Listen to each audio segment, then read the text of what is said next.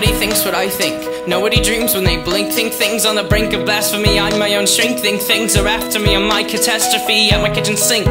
You don't know what that means.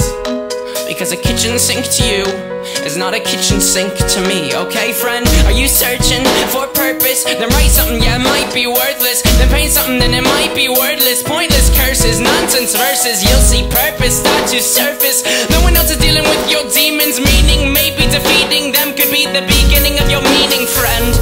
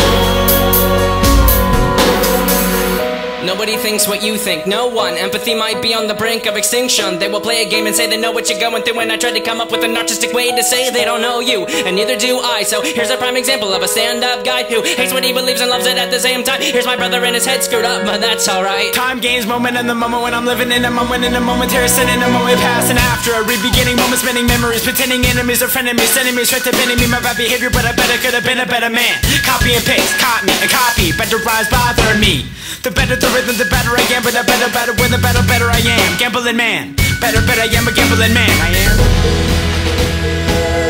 am